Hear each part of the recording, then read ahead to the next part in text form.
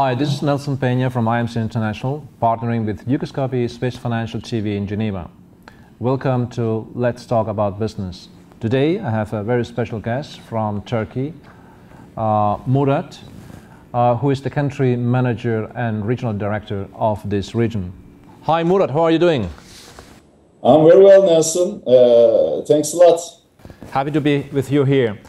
Um, Murat, I'm just thinking, talking with you um, about Istanbul, that Istanbul has not only a superb and great bridge between the European and um, Asian side, but generally Turkey as a country, you always have been considered as the bridge between Occident and Orient. How do you evaluate this statement from an economic and um, business point of view? Is it still correct or I'm wrong? it's uh, really correct. Nelson Turkey is a, clearly uh, a key economic leader in the region, having regional power and extremely well connected in all the world. Its economic and uh, political influence in the region and around the Caucasian zone is uh, very strong, as we all know. Uh, historically, Turkey has been reliant on the developed economies for a significant portion uh, of its trade and investment. Uh, we can see the proximity and strategic importance of Turkey in the graph.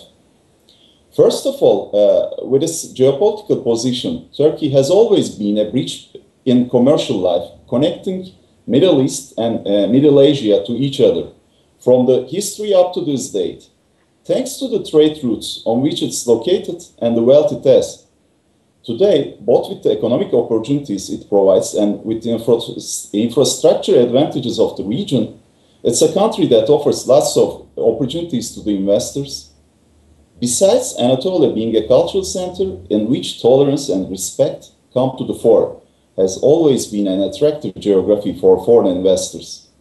Turkey has a growing trend similar as in uh, classic emerging countries. It attracts lots of investors from Europe, Asia, and uh, being a Muslim country, Turkey attracts lots of investors also from the Middle East automobiles, textiles, chemicals, steels, and food are the uh, living export industries of Turkey. It also emphasizes Turkey's importance technologically and socially, not just the country's strategic importance. And on the other hand, we shouldn't forget that Turkey is also a strong investor. Preparing myself, uh, Murat, uh, to this uh, interview and meeting with you, I have learned that the Turkish economy uh, has grown significantly since the country emerged from 2010, sorry, 2001 financial crisis, you had a very severe financial crisis. And um, between 2002 and 2008, your GDP experienced an extremely high average growth of 5.8% compare, compare, and this is important to 1.8% of the European Union. And um, where is Turkey, or what does Turkey make different uh, and better that most European countries over the last 10 years, and uh, what it is today? Uh, Nelson, we can say that Turkey is a prominent country uh, in economic and financial senses with economic and financial moves, especially since the beginning of 2000s its superior economic performance and high growth figures of the economy in the last three years to finance policies based on consistent and strong banking system supported by the reforms that have been ongoing since the beginning of 2000s. Uh, as it can be seen uh, from the graph 2, we can see on the graph 2 average annual, annual real GDP growth uh, between 2002 and 2012. In the prominent increase in rapid growth of Turkey's economy, especially against European economies at the point reached after global crisis in 2009, we observed the reforms ensuring economic infrastructure and the dynamic and well-educated young population that it against aging European economy, besides the regulations such as especially financial discipline and consistent monetary policy. Along with all these developments, lots of reforms and changes have been brought to life in Turkey in the last decade, with the positive contribution of the European Union membership process, and many arrangements and changes have been made related to the areas, such as especially the liberalization of Turkey's economy, focusing on private sector, increasing the resistance with efficiency in finance, uh, and building social security system on a solid, uh, solid ground, Nelson.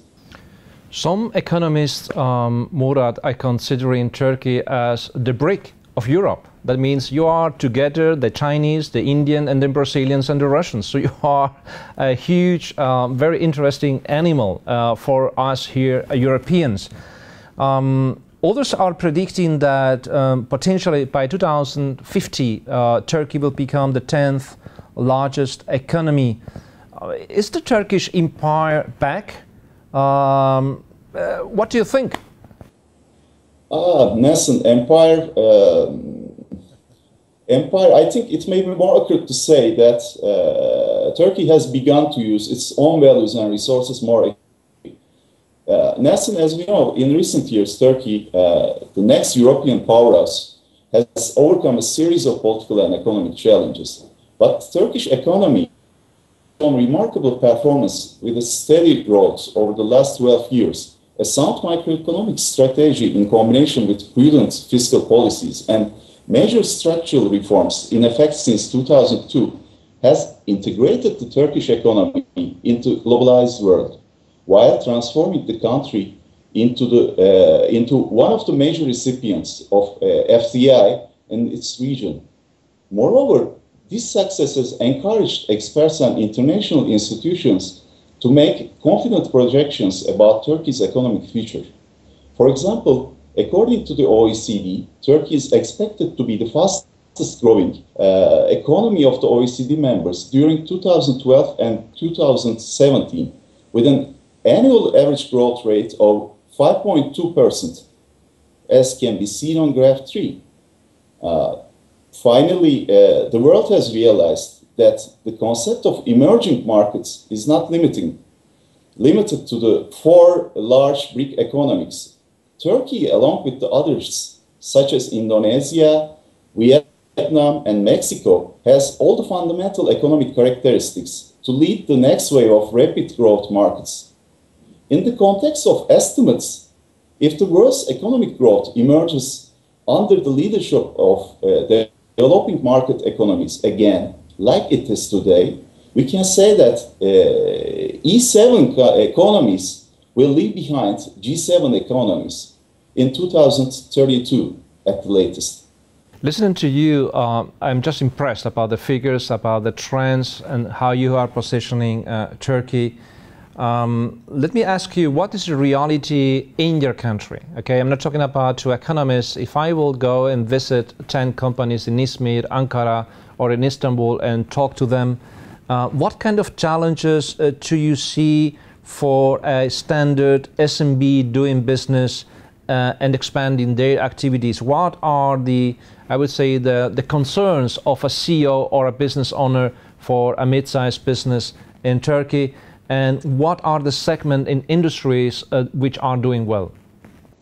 Um, we can say that the most important differences of Turkish SMEs are that they addressed a, to a huge domestic market in a rapidly growing economic value. Besides, with the supports of high quality, the reliable supplier positions and quality perception in European Union countries to which they started to export of much bigger amounts, especially after the removal of customs wall in 1996. However, this process also brings a number of challenges. Market size creates a, high a highly competitive environment along with it. Uh, besides, we can say that it is needed to long-term plans and uh, arrangements in terms of investments and incentives, Nelson. European SMEs are also in need of investments in foreign countries, but they cannot afford to go to China.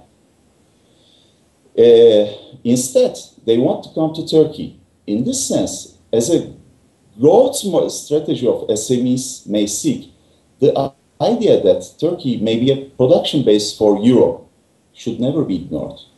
Murat, um, I remember the last time I have been in Istanbul, I was talking with a high-level officer of your um, government, and he said to me that uh, their intention is really to create in the Anatolian side a kind of second Dubai over the next 10 years. So there's a huge effort to make Istanbul, the Anatolian side, as a business and financial and service center.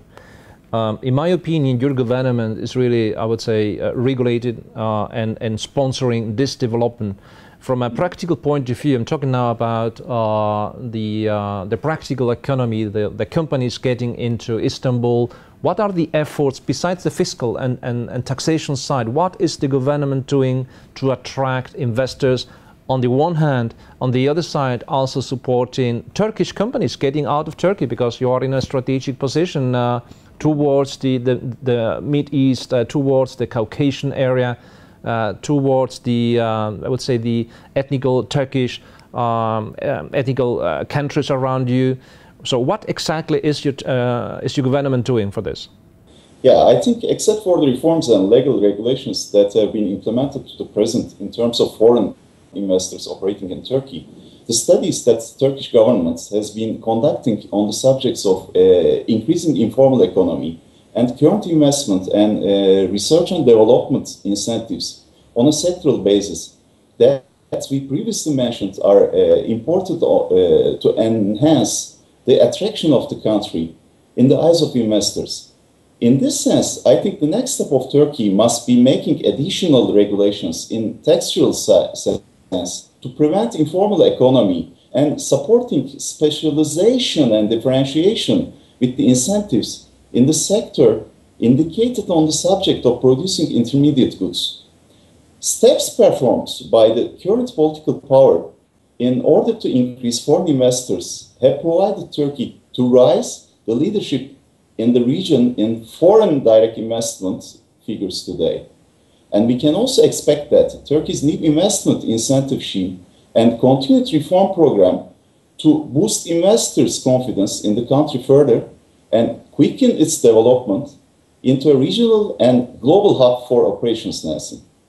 Murat, from a practical point of view, um, as a country manager and supporting also business getting established, obviously we can also uh, said what are re the recommendations okay? What are the recommendations for for business to get established? On the other side sometimes and this has more value what should be avoided what should be avoided as a company wishing and to get into turkey? Uh, Nelson, I think there's no list of the ones to be especially avoided in Turkey, but uh, accompanied by my own experiences, uh, I can comfortably say that whenever you go in the world, uh, the common thing required to be avoided is a global organization imposition that forget the uh, values forming that country on which localization and investment are made and neglecting special business methods. Uh, of course, I can make some suggestions over the cultural common points. Firstly, it's clear that in Turkey, we have common features with Western uh, society uh, in terms of uh, urban living level, we can say that the trade is shaped according to the basic rules uh, of the business life in the context of improved market conditions. We can say that in the rural areas, the business environment is being conducted according to the traditional rules mostly. Turkish businessmen dominate the modern Western business practices and they apply them in business life. In order to be successful in business life in Turkey, hierarchy and respect is very important uh, in a similar manner with Turkish uh, culture. In this sense, we can say that there is a business culture based on hierarchy. Decisions are always required to be made by senior people, but we culture comes before I culture in Turkey. And I can easily say that we have a conservative business environment in the face of the calculated risks, even in the case of uh, uncertainty. The relationship based uh, on reliability in terms of businessmen will always lead to more rapid progress of the business processes. Also, the feature of making face to face communication is a defining feature in also business life even the mutual relationships is at that level that mostly get ahead of written agreements. As the country and the economy is growing, Murat, usually uh, merchant acquisition, corporate finance issues become more and more relevant. And uh, I have seen some statistics over the last two years. that um, uh, on the other side in Europe we had a kind of decline in aspects of transactions. Okay, now it's a bit better. Um, on the other side, you also in Turkey had a very strong demand for um, capital transactions. How important is the merchant acquisition corporate finance sector and what kind of uh, um, sectors are applying for these transactions and what is more or less the volume? What is your experience, observations? In order to mention about the current investment opportunities in Turkey, first of all, it should be uh, reminded that in which conditions Turkey is a prominent country, economy. Turkey is uh, in a very highlighted position, especially with a rapidly growing, institutionalized and successful economy large youth population, uh, cheap and qualified labor force, reliable investment environment, improved market conditions, higher transport facilities, low taxes and incentives, developed financial market and uh, the strong banking sector, highly developed transportation infrastructure, the highest risk reward ratios to foreign investors, and large and constantly evolving domestic market. Despite the ill effects uh, of the global economic recession, Turkey has managed to record an uh, uh, unprecedented uh, number of M&A activity in the year uh, 2000. 13. Uh, 336 uh, M&A transactions took place in 2013, which is the country's historical height. The transactions have generated uh, um, 20 billion United States dollars. Such success of Turkish economy and uh, business community has been even further accentuated by the fact that 2013 has not been a good year for the M&A activities in the world, especially the energy sector, especially uh, in terms of natural resources, is leading the M&A transactions in Turkey in terms of volumes, volumes involved with a, a total transaction of 36. Considering under these conditions, the other important major investment opportunity in Turkey is uh, e-commerce and uh, internet markets in terms of population average.